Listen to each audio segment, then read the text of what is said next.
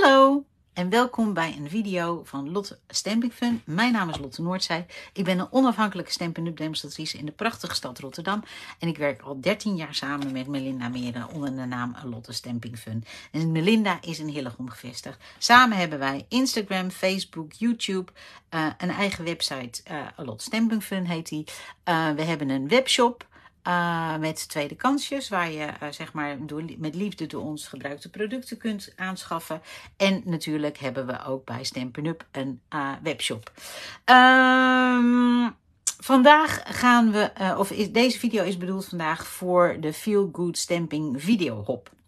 Elke maand werken een aantal uh, Nederlandse demo's met elkaar samen rondom een bepaald thema om je te inspireren en uh, leuke dingen te laten zien wat je met de producten van Stampin' Up kunt maken. Uh, deze keer is het thema clean en simpel. Dus dat wil eigenlijk zeggen, um, gewoon niet te veel poespas op een kaart. het um, clean houden, dus ook wit houden. Of tenminste, veel wit wordt er altijd gebruikt in een clean en simpel kaart. En het, je, je, hoeft niet te veel dingen te doen, zeg maar. dus geen laagjes enzovoorts. Um, nou, daar hebben we dus met het hele team doen we dat. En als je klaar bent met deze video kijken, kun je hieronder in de omschrijvingenbox naar beneden gaan. En dan zie je de namen van de andere demo's die meedoen. Plus daarachter een linkje. Als je klikt op die link, dan kom je vanzelf in hun um, kanaal terecht. En dan laten zij jou ook een project zien rondom Clean en Simpel. Nou, dat voor wat, hoe je kunt hopen. Nu de kaart. Uh, of nu het project. Uh, er ligt bij mij al een tijdje uh, in de kast kersttijd. En ik heb hem nog steeds niet uit de kast gehaald. Want ik heb mezelf beloofd dit jaar om pas vanaf 1 september überhaupt aan kerst te gaan denken. vorig jaar ehm, waren we vrij vroeg begonnen met kerst. En uh, toen waren we in oktober en toen waren we al helemaal klaar met kerst. Nou, ik dacht, dat wil ik niet meer. Dus vandaar dat ik mezelf heb beloofd dat ik pas vanaf 1 uh, september iets rondom kerst ga doen. En ook kerstkaarten ga maken. Uh, dus ik, uh, deze lag er al een poosje. Nou goed, je ziet er ook wat niet-kerstdingen in. Dus dat is wel heel fijn.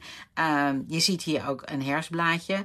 En hier zie je een herfstblaadje. Je ziet hier kaarsjes. Uh, met vlammetjes, dus die kun je ook gebruiken. Een beetje confetti zitten in.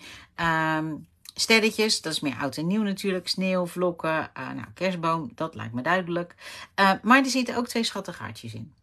En toen ik zo naar die um, teksten zat te kijken, toen dacht ik, zou er iets zitten in die teksten, als ik ze combineer, dat ik er wat leuks van kan maken om het naar iemand toe te sturen. Nou ja, er staat liefs.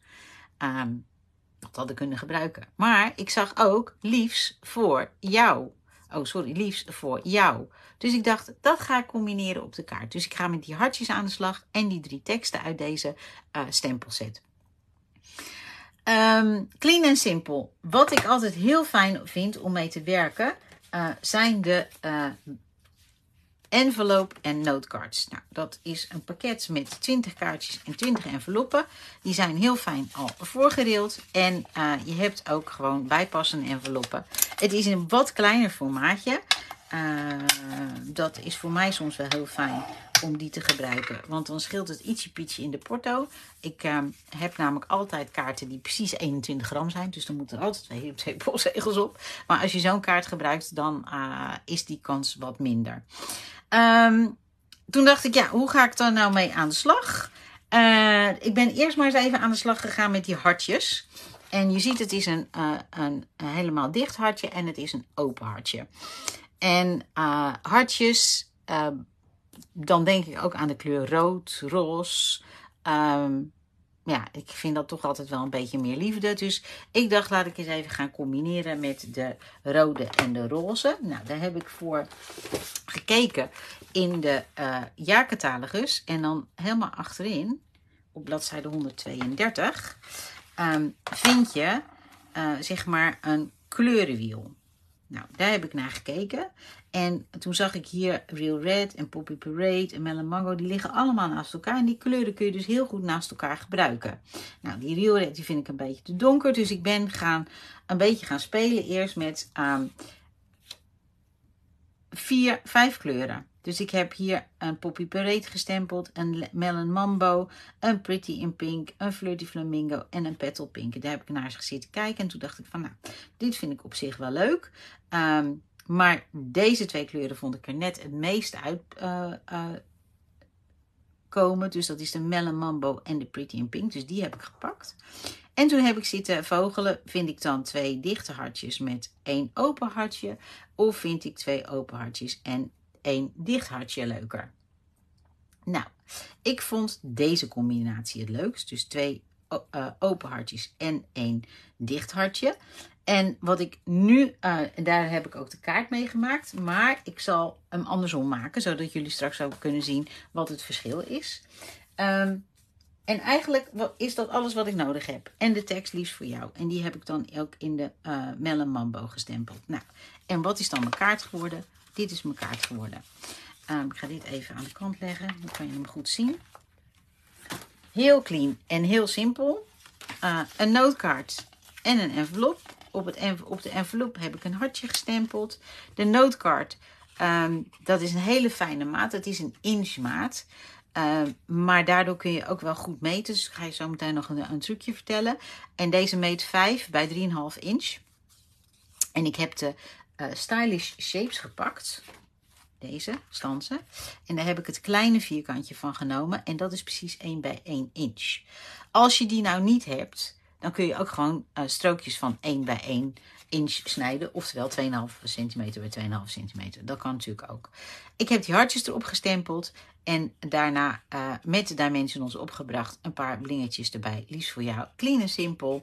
En een hartstikke leuk kaartje om te versturen. Uh, waarbij je aan de binnenkant natuurlijk alle teksten kunt zetten. Liefst voor jou kan bij beterschap. Kan bij tra trouwen. Kan bij verjaardag. Nou, noem bedank je wel. Noem het maar op. Dus ik dacht dit is wel gewoon een hele leuke algemene kaart. Die je kunt maken. Kleuren heb ik net over gehad. Dus ik ga met de Melon Mambo werken. En met de uh, Pretty in Pink. En um, ik vond wel dat het dichte hart de uh, zachtste tint moest worden. Dus dat doe ik in de Pretty in Pink. Nou, dan uh, neem je een stukje wit. En je pakt je stans erbij. Oh, deze heb ik niet nodig. De andere plaat. Deze plaat hebben. De 1, de 2 en de... Um, nog een tweede op. Ik pak de kleine, want dat is natuurlijk wel heel fijn. Ik probeer zo schuin mogelijk mijn stans te leggen. Zodat die, uh, de wal straks zo lang mogelijk over mijn uh, vierkantje heen gaat. Nou, en dan, ik stans ze eerst en daarna stempel ik. En ik heb mijn kleine, pak ik er even bij. Mijn kleine kutten en bos.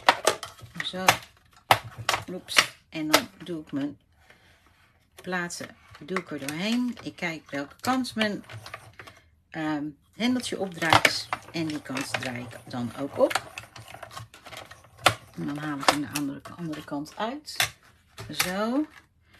En dan heb ik een heel mooi vierkantje gestanst. Met deze stans. Nou, dat doe je dan nog twee keer. Dus dan heb je er drie. Het is niet in dit geval zeg maar nee, dan krijg je er twee. Maar zeg maar J, dan krijg je een J, dan krijg je er drie. um, drie van die vierkantjes dus. En die ga ik bestempelen met uh, die kleine hartjes. Ik heb nog zo'n heel klein uh, blokje. Dat is heel fijn, want ze zeggen altijd hoe kleiner de stempel, uh, hoe kleiner het blok zou moeten zijn. En ik ga dus twee keer het hartje stempelen uh, het open hartje stempelen in Melon Mambo op zo'n vierkantje. Probeer dat een beetje in het midden te doen. Dat is één. En dan doe ik dat ook bij de ander. Zo. En dan neem ik het dichte hartje. En die doe ik dus in de kleur Pretty in Pink. Dat is zo'n nieuwe inkoller. Kan natuurlijk ook daar, uh, bij deze ook die Petunia Pop kunnen kiezen. Maar dan was het te paarse geworden, denk ik. Nou. En dan hier het dichte hartje stempelen. Zo. En dan heb ik de drie hartjes die ik op mijn voorkant van mijn kaart wil hebben. Dan de tekst. Oh, die, had ik, uh, die ligt hier nog met inkt erop, geloof ik. Of niet, ik weet niet precies. Ik zal hem even schoonmaken voordat ik de, uh, de woordjes er even afhaal. Nou, kijk, ik heb ze met z'n drieën op één uh, blok gezet. Nou, hoe heb ik dat gedaan? Ik heb de losse woordjes uit de set gepakt. Hè, dus liefs, voor en jou. Het zijn drie losse woordjes. En die heb ik zo goed mogelijk op mijn papier of mijn grid, um, um, glazen grid, mat, hoe je hem wil noemen, uh, gelegd. Aan elkaar, gekoppeld. En dan maar hopen dat ze goed aan elkaar zitten. Nou, als dat zo is, doe je je blok erop. En dan ga je natuurlijk eerst even proefstempelen om te kijken of het... Ik pak even een kladblaadje erbij. Um, deze kant. Um, om te kijken of die ook een beetje recht is. Want dat is natuurlijk wel belangrijk. Nou, en als dat niet zo is, dan maak je hem weer schoon. En dan uh, de stempel. En dan kijk je even of die misschien wat rechter kan. Ik denk het niet. Hij is een beetje, gaat met een beetje met een bochtje. Zie je die voor? Die moet een klein beetje omhoog. Nou, gaan we het opnieuw doen. Uh, wel is zaak natuurlijk dat heel even je uh, stempel schoonmaakt. Want anders heb je al die rode inkt aan je handen. Nou zeg ik altijd, als je geen inkt aan je handen hebt, als je aan het stempelen bent, dan heb je niet naar je zin. Daarom heet we ook Lotte Stamping Fun. Um, want het is natuurlijk niet de bedoeling. Oh, voor liefs. Voor jou. Ik kan er natuurlijk niet helemaal boven gaan hangen. Anders heb, hang ik helemaal in jullie beeld. En dat is ook niet fijn.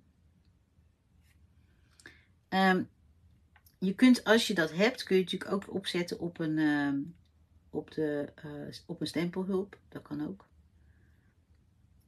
Het is maar een beetje van, ja, hoe krijg je hem zo recht mogelijk, hè? Dat is toch best lastig. Zeker met die kleine stempeltjes. Hoop je toch dat ze ook nog blijven liggen als je hem loslaat. Soms blijft hij plakken. En dan denkt hij, ik ga nog even de andere kant op dan dat jij mij had neergelegd. En dat is natuurlijk even minder. Nou. Laten we hopen dat... Nee, dan ben je naar beneden. Laten we hopen dat dit nu oké is. Nee, zijn kont gaat naar beneden. Dit is beter, denk ik. Ja, gaan we nog een keer proberen. Kijken of die nu wel recht is. En het is natuurlijk handig als je hem dan even uh, in de buurt van een lijntje of zo uh, stempelt. Wat recht is. Dan heb je een beetje een gevoel of die recht is ja of nee. Nou, volgens mij wel. Nog één keer erboven. Ja, ik ben er blij mee. Nou, dan, uh, dus het eerste wat ik ga doen is Even zorgen dat mijn handen niet afgeven. Uh, is de kaart. En die ga ik stempelen aan de voorkant. En daarop zet ik liefst voor jou. Dat doe ik als eerste. Want stel nou voor dat er iets misgaat. Dan heb ik altijd heb ik nog niet de hele kaart versierd. Nou, ik leg hem even zo dat ik denk dat de kaart recht ligt. En dan probeer ik ook de tekst recht te stempelen. En dat doe ik dan in het hoekje. Liefst voor jou. Nou, dat is aardig gelukt, denk ik. En wat ik nou meteen doe, ik heb toch die kaart uh, nu open liggen. Ik pak ook dat leuke hartje, wat ik in Melle Mambo heb gestempeld. En dat stempel ik ook nog eens even leuk aan de binnenkant. Nou, dan hebben we dat uh, gedaan. Ik heb ook nog het kleine hartje. Uh, doe ik die Pretty in Pink dan, doe ik het andere hartje. Die stempel ik even nog op de envelop. Hebben we dat ook gehad? In een hoekje. Nou, helemaal leuk. Zo. En dan uh, leg ik die aan de kant. En dan is het natuurlijk zaak dat ik heel goed die hartjes ga verdelen. Nou, wat doe ik? Ik, aan de, ik doe aan de achterkant een dimensional. Even kijken. Een grote, dat is wel zo handig. Dan heb je er ook maar één nodig. In het midden. En dan gaat het goed. Zo. Nou, nu heb ik net gezegd dat die uh, vierkantjes, deze, die zijn 1 inch. De breedte van de kaart is 5 inch. Dus wat ik heb gedaan, is ik heb een strookje genomen, wat 5 inch meet. En uh, toen heb ik gerekend. En als je dan de afstanden houdt, en dat, dit, dit is in inches, van 3 en een kwart, of sorry, van 3 vierde inch, 1 3 vierde inch, 2, 3, 3 en een kwart inch en 4 en een kwart inch, dan ga je ze straks keurig netjes over je kaart verdelen. In de breedte. In de hoogte is die 3 en een half inch hoog. Dus uh, als ik ook deze dan weer in het midden wil hebben, dan moet mijn strookje 1 en een kwart inch hoog zijn. Nou, als je niet kan volgen hoe ik het berekend heb, is helemaal niet erg. Ik heb het al voor je gedaan.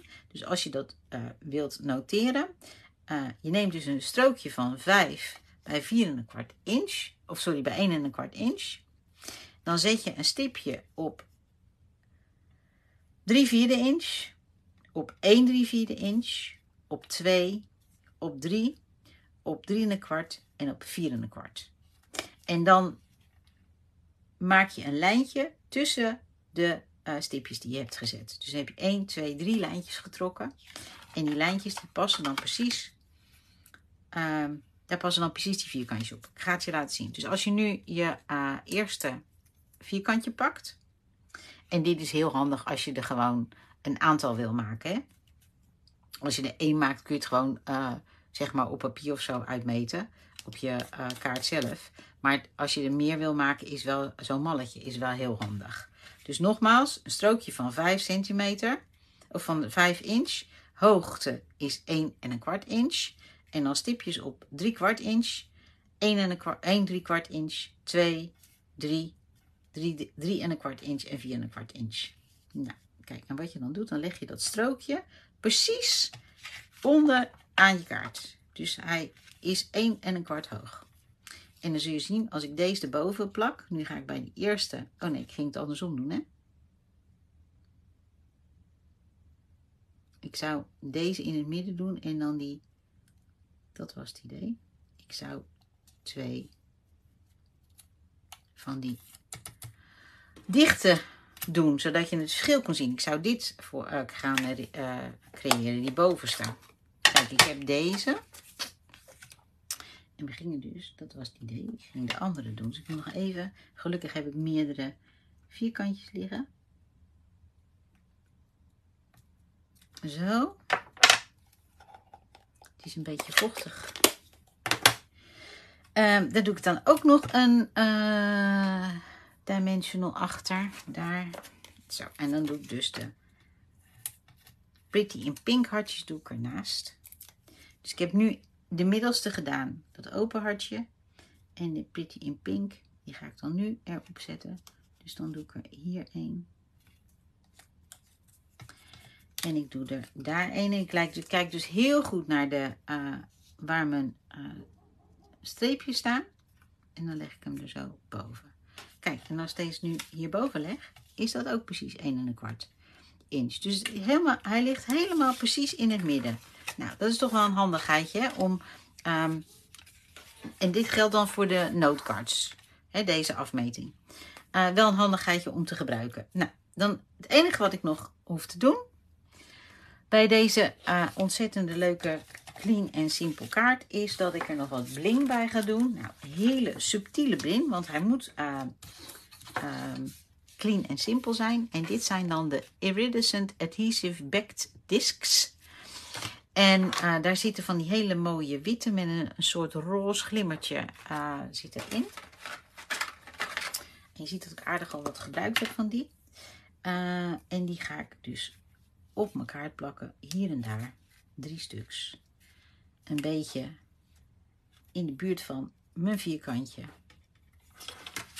En dan is mijn clean en simpel kaart is klaar. En dan heb ik dus twee verschillende versies.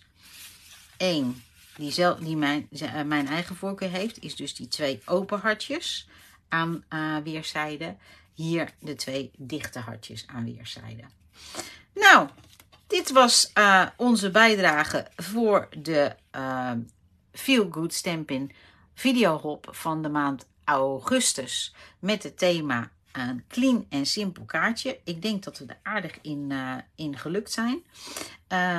of in geslaagd zijn. Daarvoor hebben we gebruikt de stempelset kersttijd.